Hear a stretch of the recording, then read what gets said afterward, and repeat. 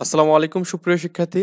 তো টিউটোরিয়ালের পর্যায়ে আমরা আলোচনা করব ভগ্নাংশের ঘনমূল নিয়ে ওকে চলো দেখি ভগ্নাংশের ঘনমূল নির্ণয় করা যায় কীভাবে। এই ক্ষেত্রে ঘনমূল, আমরা ঘন এবং ঘনমূলের ধারণা ব্যবহার করতে পারি এখানে।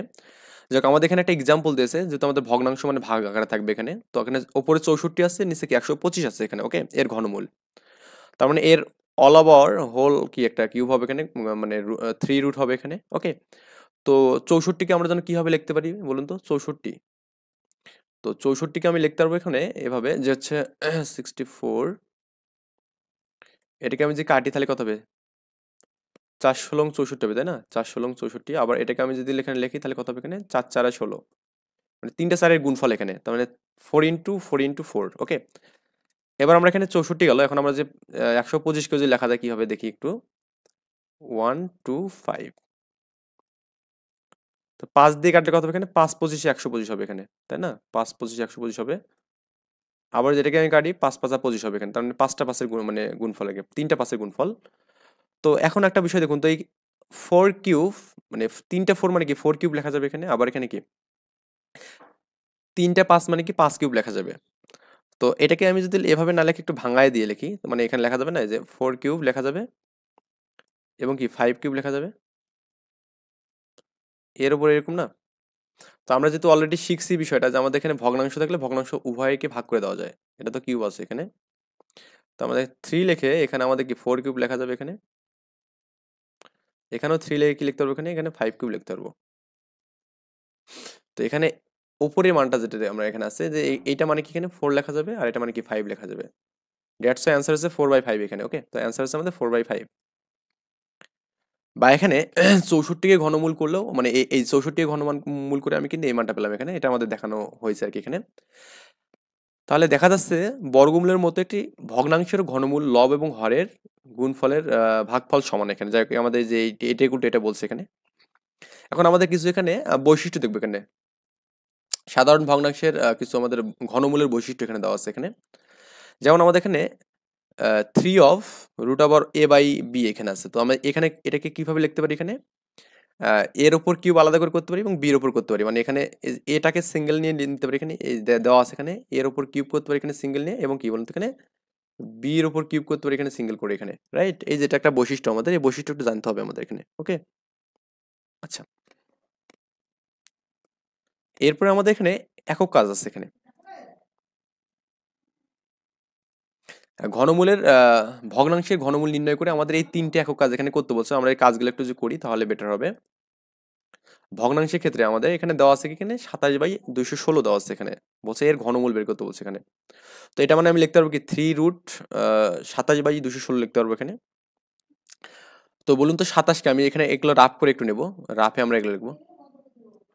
তো সাতাশকে আমি তিন দিয়ে যে ভাগ করি, তিন নং সাতাশ হবে এখানে। আবার নয় কেজি আমি তিন দ্বারা ভাগ করি, কত? তিন থেকে নয় হবে। তার মানে এখানে থ্রি থ্রি থ্রি পাচ্ছি। মানে তিনটা তিনের গুণফল। এখানে দেখুন একটা, দুইটা, তিনটা তিন গুণ করছি। আবার দুশো ষোলোকে আমি যদি দুই দিয়ে ভাগ করে দিই, তাহলে কত হবে এখানে? একশো আট হবে। একশো আটকে দুই দিয়ে ভাগ করলে কত হবে এখানে? চুয়ান্ন হবে। চুয়ান্নকে করলে কি? সাতাশ হবে এখানে, তাই না? চুয়ান্নকে দুই দিয়ে ভাগ করলে সাতাশ সাতাশ হবে এখানে। আবার তিন নং সাতাশ, আবার তিন থেকে নয় এখানে। তার মানে দুইটা, তিনটা দুই পাচ্ছি এখানে, আবার কি? তিনটা তিন পাচ্ছি এখানে। তার মানে এখানে একটা, দুইটা, তিনটা, একটা, দুইটা, তিনটা এখানে, ওকে? তো এখানে দেখুন, এই থ্রি রুট তিনটা কিউব মানে তিনটা তিন মানে কি? এটা মানে কিন্তু আমাদের থ্রি লেখা যাবে এখানে। আর নিচে আমাদের কি হচ্ছে এখানে? তিনটা দুই মানে কি এখানে? দুই লেখা যাবে। আর এখানে আমাদের তিনটা, এখানেও তিন মানে কি বলুন তো এখানে? এখানে তিন লেখা যাবে। তো এই তিন আর এই তিন কাটা যাবে। তো এখানে কিছু না একটা ওয়ান থাকবে। তো ওয়ান বাই টু এটা হচ্ছে আমাদের অ্যান্সার ওয়ান বাই টু বা আপনি চাইলে এখানে উপরেও কাটাকাটি করতে পারেন এখানে। একদম এই যাতে কাটাকাটি করতে পারেন। যেখানে তিনের সাথে তিন কাটা যাবে। এই তিনের সাথে এই তিন কাটা যাবে। এই তিনের সাথে এই তিন কাটা যাবে। তার মানে ওয়ান এখানে কিছু নেবে একটা ওয়ান থাকবে এখানে। ওয়ান থাকবে। তো ওয়ান বাই তিনটা দুই মানে কি এখানে? দুই হবে এখানে একটা। একই হবে এখানে, ঘুরে পেয়েছে সব একই অ্যান্সার হবে। আবার এখানে এরপরের যে ম্যাথটা আমাদের দিয়েছে, সেটা হচ্ছে আমাদের এখানে এইটা। তো এটা যে আমি সলভ করি এখানে seven zero eight four nine six nine বায়োসেস six three five nine three seven এর ঘনমূল বের করতে বলছে এখানে। সো আমি এখানে three root minus seven zero four nine six nine bias three five nine three seven করলাম। তো এখন আমি যে রাফ করি এখানে, এগুলো কিন্তু রাফে করব আমরা এখানে ওকে তো রাফ না করলে এগুলো হবে না। সো আমি যদি এখানে seven zero four nine six নাইনকে উননব্বই দ্বারা ভাগ করে দিই, একটু দেখুন এখানে মানটা, যেহেতু বড় মান, একটু এটা কত আছে? Seven zero seven zero four nine four nine six nine তাই না? সিক্স নাইন এটা আমি ভাগ করব কত দিয়ে এখানে বলুন তো? এইট নাইন দিয়ে এইট নাইন দিয়ে ভাগ করব এখানে। দেখুন আমি কত পাবো এখানে? সাতশো, সাত হাজার নয়শো একুশ পাবো, এই সাত হাজার নয়শো আমি একুশ দিয়ে দিলাম এখানে। আবার এটাকে আমি আবার নাইন এইট দ্বারা, আবার কিন্তু নাইন এইট আবার উননব্বই দ্বারা ভাগ করব এখানে। তো ভাগ করব এখানে, ভাগ হচ্ছে নাইন এইট আবার nine eight sorry eight nine তো ভাগ করলে কিন্তু আমাদের এখানে উননব্বই পাচ্ছি এখানে। তার মানে এখানে তিনটে উননব্বইয়ের গুণফল হচ্ছে এখানে। তার উপরে আমি লিখব এখানে মাইনাস তো একটা থাকবেই, যেহেতু minus negative eight nine eight nine eight nine okay আবার এখানে আমাদের ছত্রিশ হাজার নয়শো সাঁত্রিশ যেটা আছে, এটাকে আমি তিন দিয়ে ভাগ করব এবার। Three six nine three seven এটাকে আমি করব এখানে তিন দিয়ে ভাগ করব। তিন দিয়ে ভাগ করলে কত হবে দেখুন এখানে? আচ্ছা আমি কি একটু ভুল লিখছি এখানে? Three six nine three seven এটাকে আমি তিন দিয়ে ভাগ করি। থ্রি সিক্স আচ্ছা এখানে কি আমি কোশ্চেন তুলতে গিয়ে ভুল করছি? Three six O three five এটা হবে। Three five nine three seven আর কি? হ্যাঁ থ্রি ফাইভ হবে এখানে রাইট তো থ্রি ফাইভ হবে এটা এটা সিক্স না এটা থ্রি ফাইভ হ্যাঁ? আচ্ছা তো এখানে এটা three five three five nine three seven. এটাকে আমি করব কি? ভাগ করব কত দিয়ে বলুন তো এখানে? তিন দিয়ে। কত হবে এখানে? এগারো হাজার নয়শো এটা পাবো এখানে। আবার এটাকে আমি আবার তিন দিয়ে ভাগ করব এখানে। ভাগ তিন এখানে। মানে তিন হাজার নয়শো তিরানব্বই পাবো এখানে। আবার এটাকে আমি যে আবার এগারো দিয়ে ভাগ করি এবার, ভাগ যদি এগারো করি, কত হবে এখানে? তিনশো তেষট্টি পাবো এখানে। আচ্ছা এখানে কি কোনো কিছু মিসিং আছে নেই বলুন তো এখানে? এখানে এগারো দিয়ে আমি যে ভাগ করি এটাকে তিনশো তেষট্টি পাবো এখানে, তাই না? এটাকে আমি যে এগারো দেবো তিনশো তেষট্টি তিনশো তেষট্টিকে আমি ভাগ যে আবার এগারো করি, তেত্রিশ পাবো এখানে। তেত্রিশ আচ্ছা আমাদের এখানে three three nine nine three এখানে ওকে আমি এটা একটু একটু একটু মিস্টেক হয়েছে এখানে থ্রি নাইন নাইন থ্রি এটাকে আমি যে ভাগ করি এখানে, তিন দিয়ে, কত পাবো এখানে? এটা পেলাম এখানে। ওকে? তো এটা আমি লিখলাম এখানে, এই যে লিখলাম এখানে। তো এটাকে আমি যদি এখন এগারো দ্বার ভাগ করে দিই, এগারো দ্বার ভাগ করে দিই, ভাগ হচ্ছে এগারো। এখন একশো একশো একুশ আসছে আগের বার একটু মিস্টেক হয়ে গেছিল এখানে। ভাগ আবার যে আমি এখানে এগারো দিয়ে ভাগ করি এটাকে, আবার এগারো পাবো কিন্তু। তো এটা আমাদের তিনটা তিন পাবো, এখানে তিনটা এগারো পাবো এখানে। তিনটা তিন দিলাম এবং তিনটা এগারো দিলাম এখানে, ওকে? সো আমাদের এই তিনটা উননব্বই মানে কি এখানে? একটা উননব্বই লেখা যাবে। যেহেতু আমাদের পাওয়ার কি আছে? আর এখানে মাইনাস একটা থাকবে মাস্ট আর তিনটা তিন মানে এখানে তিন লেখা যাবে, আর এখানে তিনটা এগারো মানে কি এগারো লেখা যাবে। মানে এখানে মেইন কথা হচ্ছে আমাদের এখানে ঘনমূলের ক্ষেত্রে, ঘনমূলের ভিতরে তিনটা একই জাতীয় মান মানে হচ্ছে কি বলুন তো এখানে? একটা মান লেখা যাবে।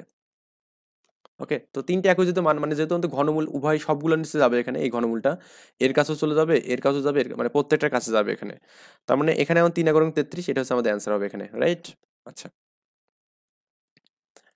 এরপর আমাদের এখানে লাস্ট ওয়ান যে কাজটা এখানে দেওয়া আছে, সেটা হচ্ছে আমাদের এখানে তেরো, বিরাশি, আট, আর এখানে কি ষোলো, তেষট্টি, পঁচাত্তর। এর ঘনমূল হচ্ছে থ্রি রুট আবার তেরো, বিরাশি এটা লিখব এখানে আমরা।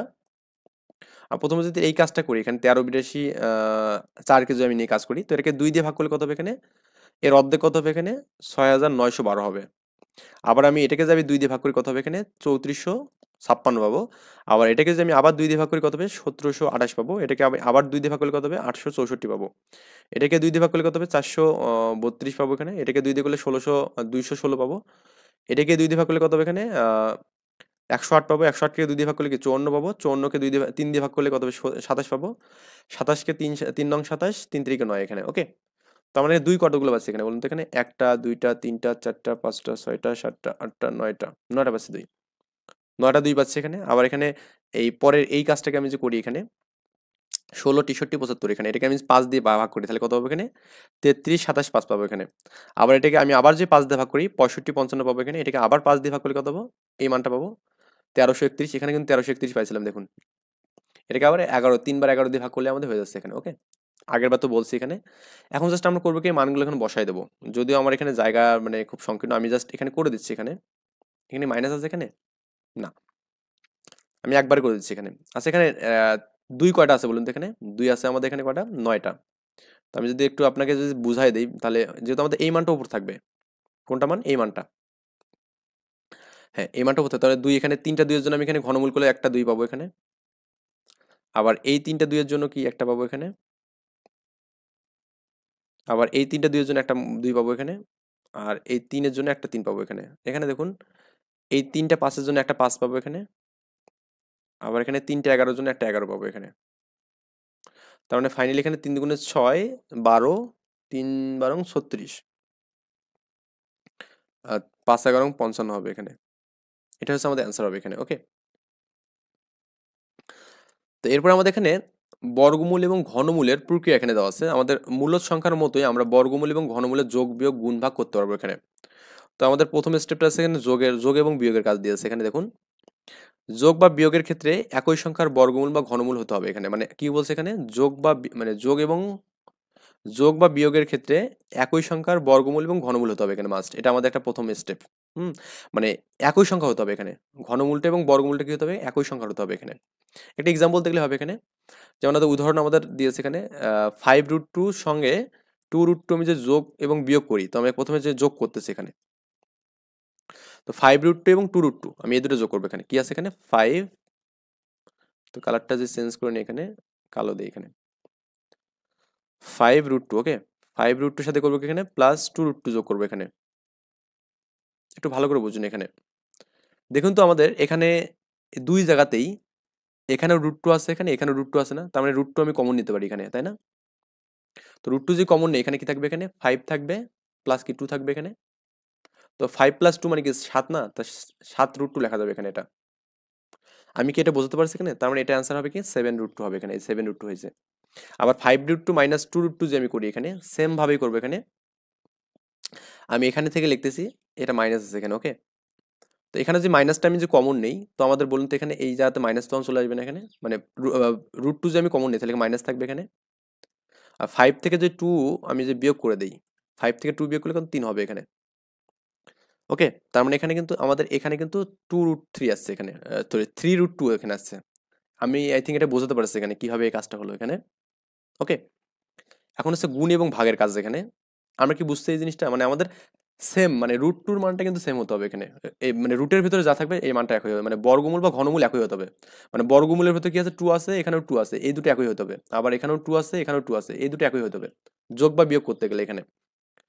এখন গুণ বা ভাগ, বর্গমূল বা ঘনমূলের বৈশিষ্ট্য এবং মূলত সংখ্যার গুণ বা ভাগ নিয়ম করতে গেলে আমরা এখানে যেভাবে করব আর কি এখানে, যেভাবে ভাগগুলো আমরা করতে পারি, এখানে গুণের কাজটাকে প্রথমে দেখাই এখানে। রুট টু প্লাস থ্রি এর সাথে রুট টু মাইনাস থ্রিকে গুণ করার কথা বলছে এখানে ওকে তো আমি এটা একটু মানে ইয়া করে দিই রিমুভ করে দিই এখানে এটা।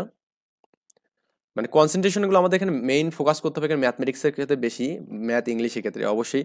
এন আছে রুট টু এখানে root two minus root three হ্যাঁ root two minus root three থাকবে এখানে। রুট টু মাইনাস রুট থ্রিকে আমি করব কি? Root two plus root three দ্বারা গুণ করব এখানে। Root two plus root three দ্বারা আমি গুণ করব এখানে। অ্যাকচুয়ালি আমাদের এখানে এই ম্যাটটার আছে দুইটা নিয়ম আছে এখানে। তো আমি যদি এখানে একটা বিষয় বলি যে আমরা জানি A plus A square minus B square হ্যাঁ? এ স্কোয়ার মাইনাস বি স্কোয়ারের জন্য সূত্র কি জানি আমরা এখানে? A plus B A minus B এখন দেখুন তো আমি যদি এই টুকে রুট টুকে আমি এ ধরি যদি এখানে, হুম? আমি এখানে এ ধরি, তাহলে এটা এ এটাকে আমি বি ধরি, এটা বি তাহলে A plus B A minus B হচ্ছে এখানে। তার মানে এটাকে লেখা যাবে কি বলুন তো এখানে? এ স্কোয়ার বি স্কোয়ার লেখা যাবে এখানে। সো আমি লিখতে পারব এখানে রুট টু এর উপর কি লিখতে পারব এখানে? স্কোয়ার লিখতে পারব। মাইনাস কি? রুট থ্রির ওপর কি লিখতে পারব এখানে? স্কোয়ার লিখতে পারব এখানে। তো রুট টু মানে কি? স্কোয়ার রুট এখানে কাটা যাবে, আমরা জানি। আবার এখানে স্কোয়ার রুট কাটা যাবে এখানে, জানি। তো মাইনাস থ্রি হবে এখানে। তো টু মাইনাস থ্রি মানে কি? এখানে মাইনাস এক না? মানে অ্যান্সার হবে এখানে মাইনাস এক হবে এখানে। এটা হচ্ছে আমাদের অ্যান্সার আমি কোথায় জানাছিলাম এখানে? এখানে। মাইনাস এক দেখুন আমাদের। তো এনারা যেভাবে করছে এটা একটা আমি বলে দিই এখানে, তাহলে বেটার হবে। এই টু এর সাথে এই টুকে গুণ করলে two into root root two into root two আবার এই টু এর সাথে এই রুট থ্রি গুণ করলে কি হবে? Root two into root three হবে এখানে। আবার এই যে এটা নিয়ে এবার কাজ এই থ্রির সাথে রুট টু গুণ করলে কি? আবার এখানে সাজে লিখলে মানে root two into root three লেখা যাবে। মানে আমাদের গুণের ক্ষেত্রে এক্স ইন্টু ওয়াই লেখা যে কথা ওয়াই ইন্টু এক্স লেখা কিন্তু একই কথা। পাঁচ গুণন দুই গুলো দশ হবে, দশ গুণন পাঁচগুলো দুই হবে এখানে। সরি পাঁচ গুণন দুই করলেও দুই হবে, দুই পাঁচ গুণন দুই করলেও দশ হবে, আবার দুই গুণন পাঁচ করলেও দশ হবে মানে ব্যাপারটা আর কি। সো এখন আর এই তিনের সাথে তিন গুণ করলে কি root three into root three এখানে ওকে তো এটারে কাটা যায় না, কারণ সেম প্লাস মাইনাস আছে এখানে। আর root two into root two মানে কি, আমরা জানি এখানে দুটো সংখ্যার গুণফল, যদি এর একই সংখ্যা হয় এ ইন্টু এ কত হবে এখানে? এ স্কোয়ার হবে এখানে। তো যেহেতু আমাদের এখানে root two into root two তার মানে কি হবে এখানে? রুট টুর উপর স্কোয়ার হবে রুট টুর উপর স্কোয়ার হবে এখানে। আর এখানে কি? রুট থ্রির উপরে স্কোয়ার হবে এখানে। তো এখানে স্কোয়ার রুট কাটলে এখানে টু থাকবে, এখানে এখানে থ্রি হবে। তো এটা বাদ দিলে মাইনাস ওয়ান হবে এখানে। বলছে, উপরের উদাহরণে কি পর্যবেক্ষণ করলে? তা নিচে লেখো এখানে। এখানে উল্লেখ্য যে রুট টু মাইনাস রুট থ্রিকে রুট টু প্লাস রুট থ্রিকে অনুবন্ধী বলা হবে। এটা হচ্ছে কনজুগেটেড রাশি। কনজুগেট রাশি বলা হয় বা এখানে অনুবন্ধী রাশি বলা হয় এখানে।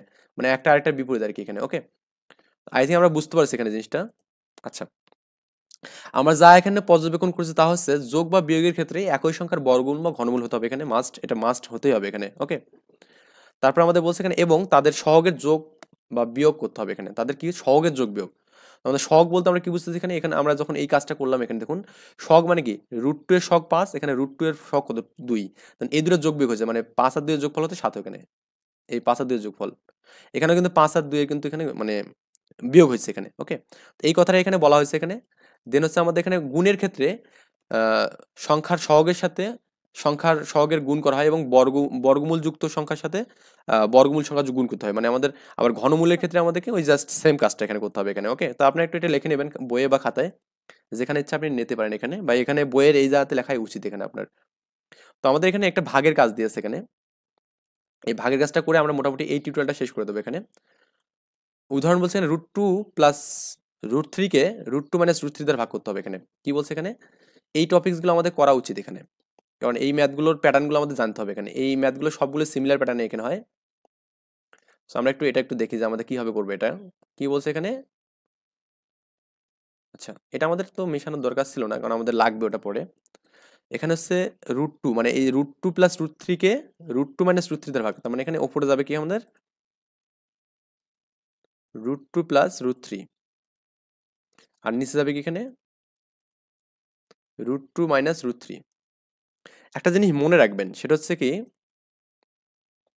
এই ভাগের ক্ষেত্রে আমাদের নিচে এই হরের মানটা যেটা থাকবে, এর অনুবন্ধী দ্বারা আমাদের হর এবং লবকে গুণ করব এখানে। কেন করব? কারণ নিচের মানটাকে আমি সিঙ্গেল রাখতে চাবো এখানে। নিচের মানটা কি রাখব এখানে? সিঙ্গেল রাখব এখানে ওকে তো নিচে আছে কি এখানে?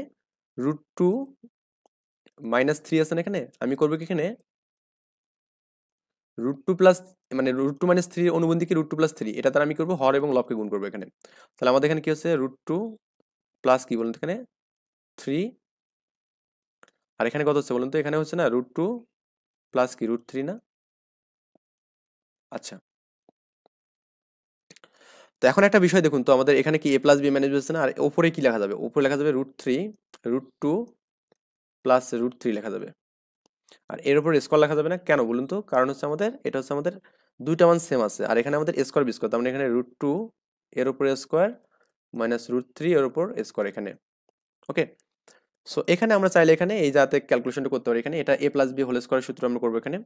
তার মানে এখানে কি হবে? এ স্কোয়ার মানে কি? রুট টুর উপর square plus two A B two into A মানে কত এখানে? রুট টু বি মানে কত? রুট থ্রি বি স্কোয়ার মানে এখানে রুট থ্রি উপর স্কোয়ার আর এখানে লেখা যাবে, এটা কাটলে এখানে টু থাকবে, এখানে মাইনাস কি থাকবে? এখানে থ্রি থাকবে এখানে রাইট আচ্ছা। এটা টু প্লাস এখানে থ্রি প্লাস আমাদের এখানে টু লেখে এখানে কি? এই রুটের ভেতর দুটো লেখা যাবে এখানে রুটের ভেতর দুই এবং তিন লেখা যাবে, দুই এবং হচ্ছে তিন। তো বাংলা ইংলিশ একটু একখানে হয়ে গেছে, আর এখানে মাইনাস ওয়ান থাকবে না এখানে। এরপরে এটা পাস হবে পাঁচ প্লাস এটা মানটা হবে এখানে। জাস্ট আমরা এখানে পরবর্তীতে এই মানটা এখানে এইভাবে বসে দেবো এখানে। আই থিঙ্ক বুঝতে পারছেন এখানে। বলছে মাঝখানে ক্যালকুলেশন করে দেখাতে বলছে এখানে। এই মাঝখানে ক্যালকুলেশন আমরা করলাম এখানে ওকে তো কীভাবে হয়েছে বুঝছেন এখানে? তো এখানে আমাদের এই যাতে আমি যদি লিখি এখানে দুই আর তিনের যোগফল কত এখানে? পাঁচ। আর আমাদের এখানে দেখুন, এখানে প্লাস টু তিন দুগুণে ছয় না এখানে? এটা ছয় হবে এখানে। আর নিচে কি থাকবে? মাইনাস এক থাকবে এখানে।